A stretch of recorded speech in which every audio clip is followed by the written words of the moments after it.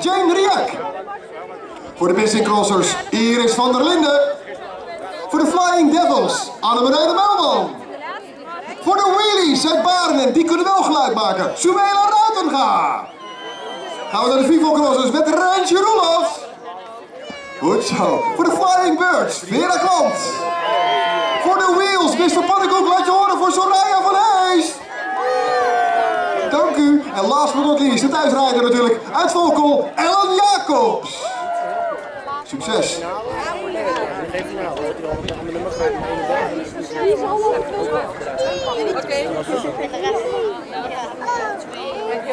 Mooi hè? Dat vind ik wel. Zijn we vertrokken met de vrouwen 17 plus met een goede start daar voor Jane Riek. En de buitenkant, oh, dan gaat het bijna mis met Jane Riek. Het is dan Jacobs die daar als eerste doorschuift naar de eerste positie. Dat is eerste positie, dat is eerste staat. Rentje Roelof dan op plaats nummer 2. En dan krijgen we Ruitenga voor de in Baren op plaats nummer 3. En dan een mooi gevecht tussen Kwant en Van Hees. Kwant op plaats nummer 4 zit in de middenkant. Kan misschien doorschuiven naar 3. Nou, voorlopig nog niet. Dat is Suela Ruiten gaat die de derde plaats weet vast te houden. En Jane Riek komt maximaal ook terug. Schuift inmiddels naar 4 zit aan de buitenkant. Wel een beetje ongunstig.